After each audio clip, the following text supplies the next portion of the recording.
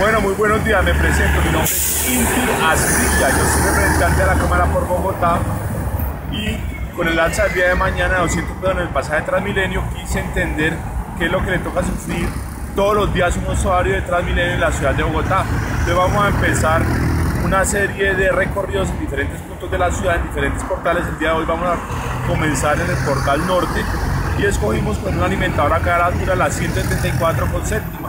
Entonces acompañe y vamos a ver qué tan buen sistema es Transmilenio.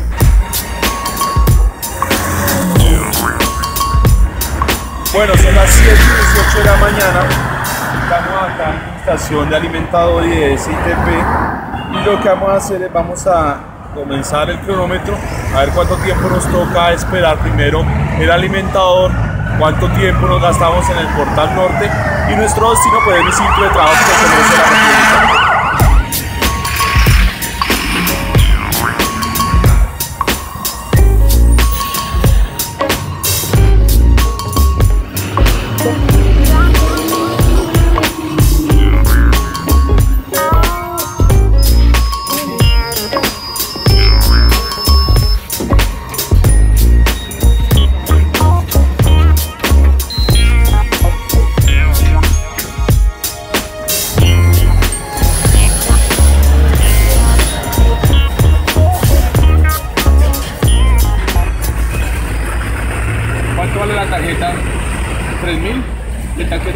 está? A 2000.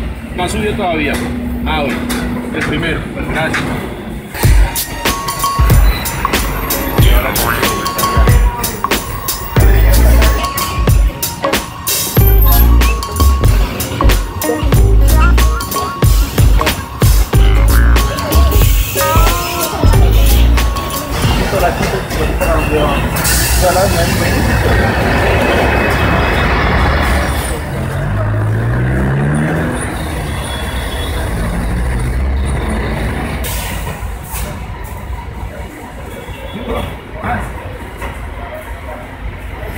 Bueno, el H74 también estuvo más, el H74 que pasa como más seguido.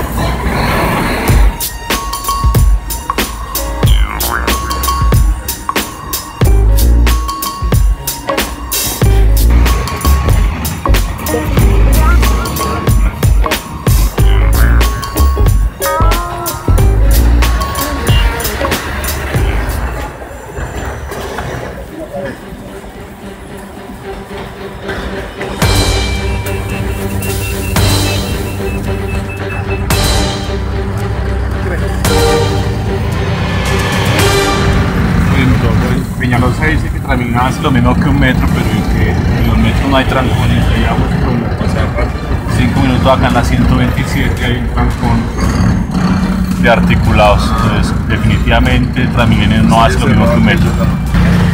Ah, mira, hay un bus de Transmilenio parado, los metros tampoco se varan. Hay un bus de Transmilenio varado, esa es la razón del trancón de 5 minutos. Ahí está muy parado. Y acá le tocó salirse. Le tocó salirse de lado. Miren, hay otro bus, hay otro bus como varado también. Y otro bus varado también. Acá tres buses varados. Este.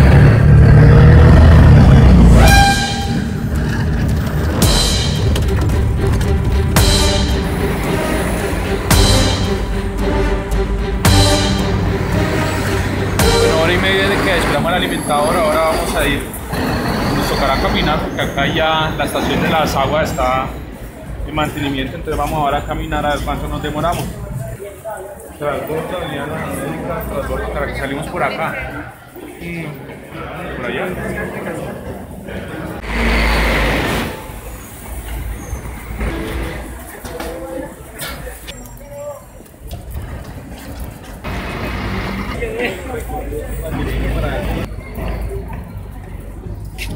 Son las 9 y 26 de la mañana, han pasado 2 horas y 5 minutos desde que nos montamos, desde que estábamos esperando el alimentador en la estación de Codito, la 174 con séptima, de esta primera jornada, digamos, de movilizarnos de diferentes partes de la ciudad al Congreso de la República. Fueron dos horas. ¿Qué puedo decir? Eh, lo primero hubo momentos en que el Transmilenio estaba muy lleno, otros en el que se vaciaba. No montamos en una, digamos, pico, como eran las seis y media de la mañana, pero sí que evidente uno, son dos horas más o menos de trayecto de la 174 con séptima. En segundo lugar, hay un sistema, vimos durante el recorrido buses varados que armaban trancones de 5 o 10 minutos.